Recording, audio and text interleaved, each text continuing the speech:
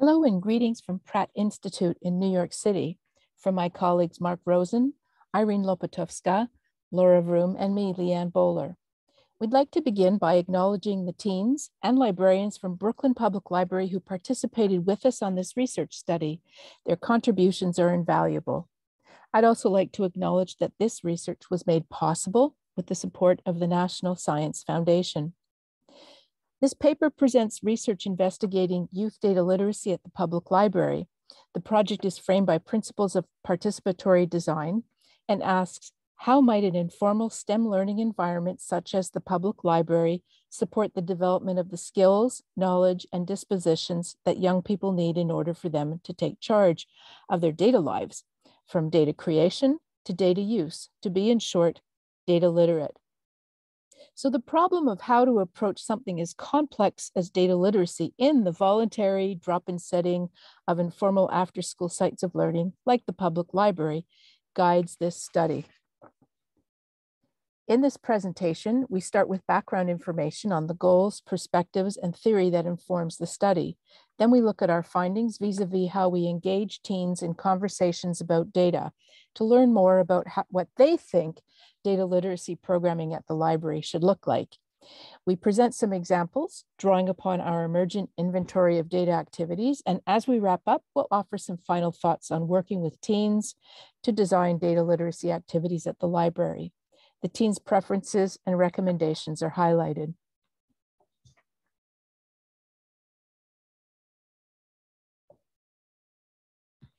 So the goal of the study, the overarching goal, is to build a holistic humanistic, and youth-oriented model of data literacy, which incorporates social awareness, critical approaches, and goodness of fit into STEM learning about data. While school-based learning around data addresses curricular needs, state standards, and academic pathways, it rarely includes the general public, let alone children and youth, in their out-of-school contexts. Little research has looked at the ways that young people would prefer to learn about data in the context of their everyday lives and within their communities, as opposed to their formal learning at school. How those preferences might translate into meaningful after-school STEM program for programming for teens at the library is a question that needs closer examination. First, a little bit of background so what do we mean by data literacy? Uh, for us in this project, data literacy is much more than computation and statistics.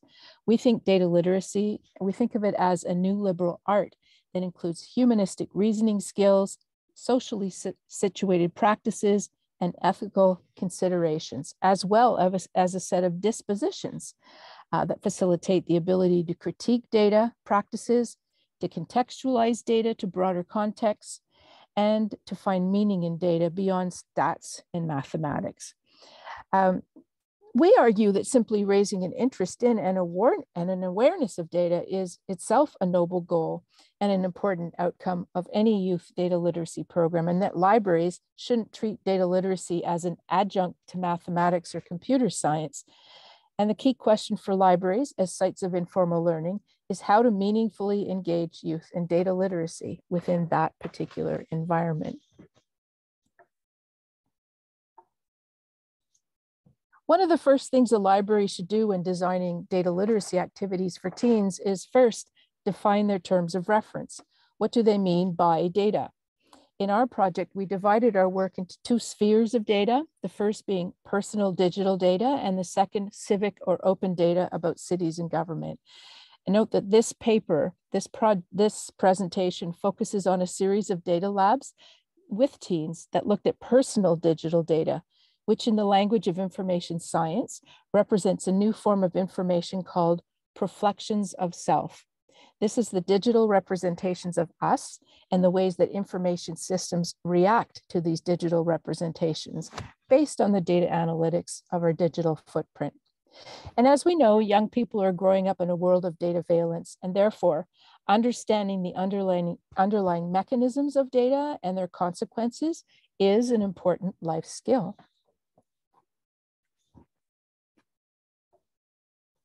An overarching um, perspective of this project is uh, really coming from a youth rights perspective um, and basically trying to give um, youth the right to sovereignty over their own data as well as the right to be data literate. And our perspective is that we should go first to youth and find out what would be the best way to learn about data. So here's a quick look at the methodology used in this project. Uh, we are we are applying um, participatory design methods. Because one way to respect young people's agency about their own data is to ask them to test and design the actual ways that they would like to learn about data. What would make it fun, meaningful, interesting, and worth their time in an after school program? What, according to teens, might be the best ways for libraries to contribute to data literacy education? So our starting point was to frame this exploration from a participatory design perspective. There is no canonical definition of participation or co-design. And in fact, there are many models of participatory design. So our inspiration comes from three particular models highlighted here. One is, um, is Halskov and Hansen's notion of a space for mutual learning.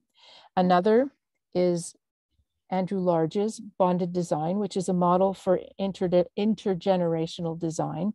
And the third one is Lissa Soep's collegial pedagogy.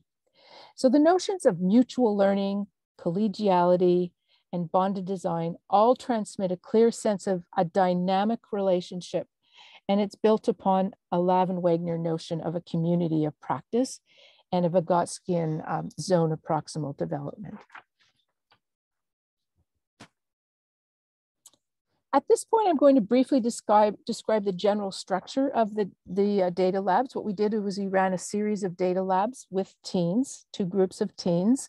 And um, this was the basic structure of them. And, um, and then in the next section, move on to the specific data activities. So to begin with, COVID-19 restrictions meant that the study had to be run entirely online. Um, the design sessions with teens uh, use platforms like Zoom, Google Jamboard, Google Documents, um, Kahoot, which is an online game um, environment where you make your own game, another game environment called Jeopardy Labs, and various online videos and other games. There were two series of online design sessions. We called them data labs in this project. A series of six data labs during spring 21, followed by eight data, data labs in fall 21, with seven teens in each series for a total of 14 teens. We applied an iterative design model, one session leading to the next. We were always designing on the fly, um, like what to do next. It's based on um, input and recommendations and feedback um, coming from teens as they flowed through the, the various sessions. So it, it was an iterative design model rather than a series of one-shot workshops pre-designed by the researchers or the librarians. And the focus of these two series of data labs was on personal digital data, where teens and adults explored concepts like data flows, data identity, data rights, digital traces, privacy, algorithmic bias, and data representation, to, to name some of the concepts. Um, I will note that a later series of data labs, not discussed in this paper, um, focused on open data and civic data repositories and did so from a similar participatory design perspective.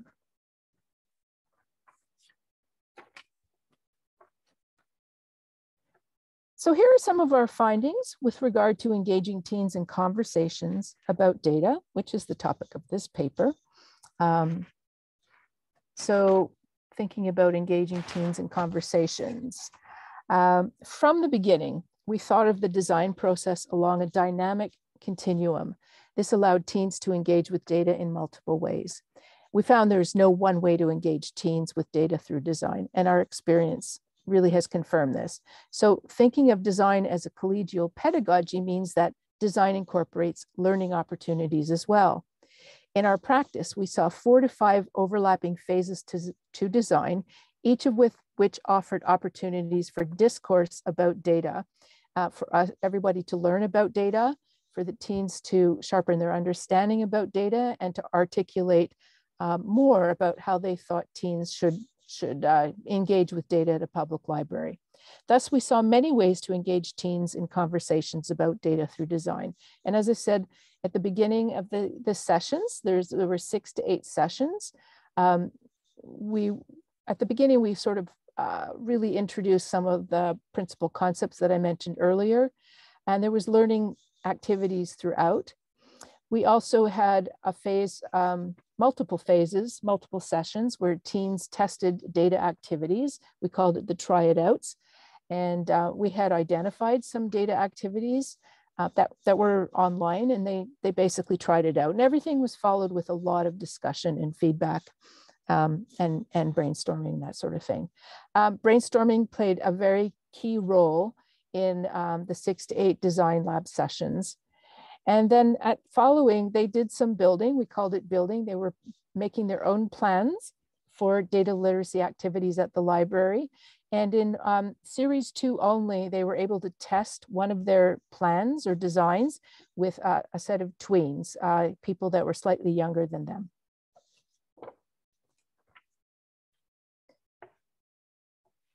So to summarize, design offered many entry points for engaging teens in conversations about data. It was a really good platform for exploring um, data literacy activities.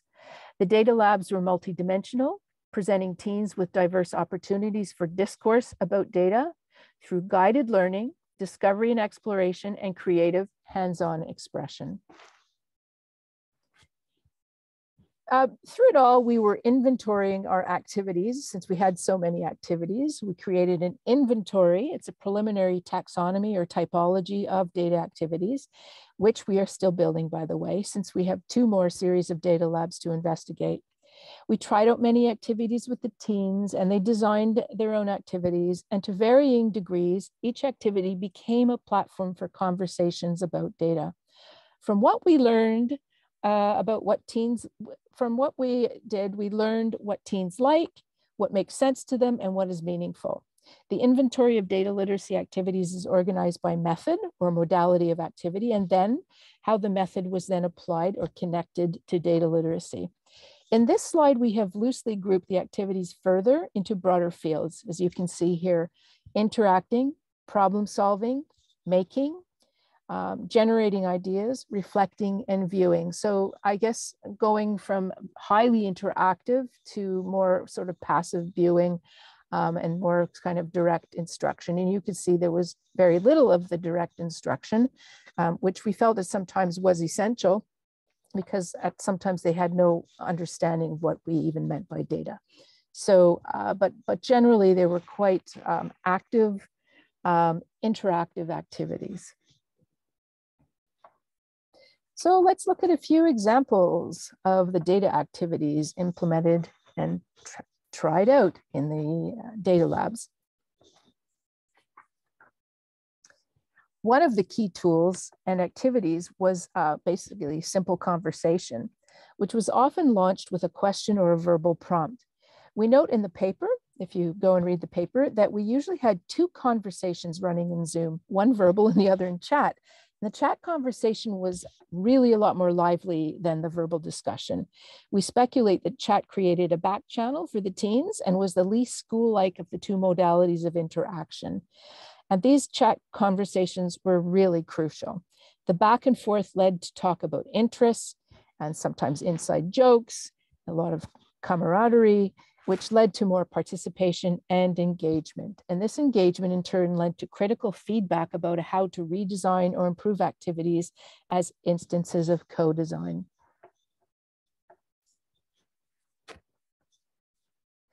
For our brainstorming sessions, we primarily use Google Jamboard, but Miro would have been a good option too. Here you can see teens thinking about what other teens, what they think other teens should know about data. Sometimes we layered the brainstorming. For example, we might start with uh, by asking teens to think of their favorite things, sports, hobbies, music, books, a sort of mini brainstorming of what they liked, what's interesting to them. And then collectively, we'd move to a second layer of brainstorming, brainstorming ideas to bring a data perspective to these interests. Like for instance, if they identified sports and different kinds of sports, we would talk about, so what's where's the data in that and how could we uh, you know uh, turn that into a library activity. And, you know, there's a lot of sports stats that are fun to play with.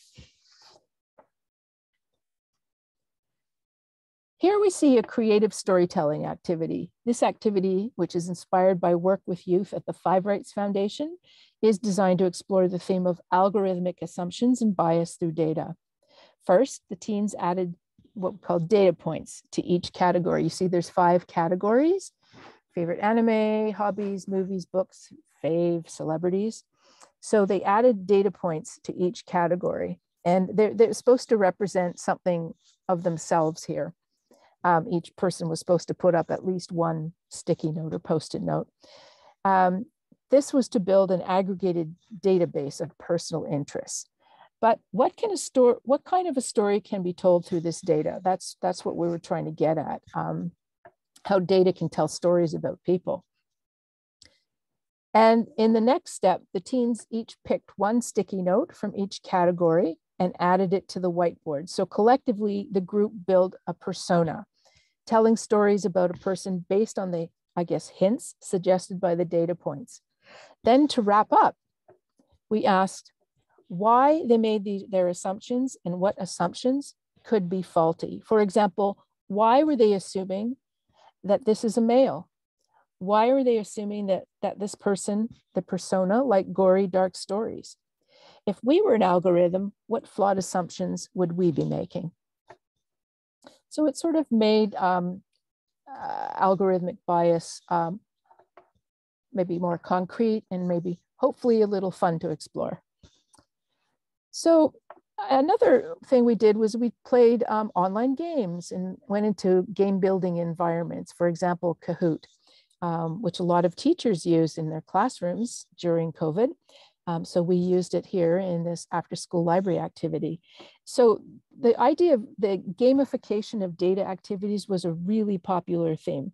We showed teens some online games centered on data, and then later a group of teens actually developed questions for Kahoot game that they thought could be used in an online after school data literacy program at the library.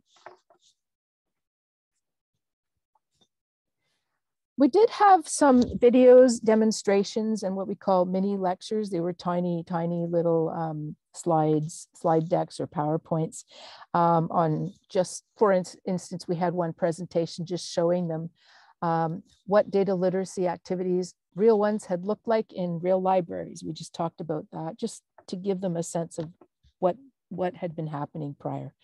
So to understand basic data concepts, we inserted some direct instruction and demos to learn about data. Although we found quite a lot of web-based resources about data topics, most were not really suitable for a youth audience. Nevertheless, we did locate a small selection of short videos. However, watching them within a Zoom room was problematic for teens with slower internet connections. And um, we were very conscious that we were really trying not to get hooked on showing videos and doing lectures. Um, the, the, the notion was that there were some basic concepts that we just needed to get over that hurdle of understanding some basic concepts. Um, but we watched very carefully that we didn't get too en, enraptured with these things, these videos. And we also aimed for some hands-on experiences with data using a variety of platforms. Uh, we use Google Sheets, which is like Excel, and Voyant, which is a data vis visualization tool. Voyant shows how online text can be analyzed and interpreted. And we did this and we drew parallels to social media and other content that teens might contribute to the internet to show how their content can actually, you know, there can actually be text analysis of their content and what that actually is saying about them. So what did the teens like the most? Now we had several um, interviews, like uh, focus group interviews, and then we also surveyed uh, the teens in the spring 21 labs. We surveyed them midway through the data labs, and we had an online survey at the end of the fall 21 series. So here you see results from the fall 21 series, which pretty much mirror other things that they've said.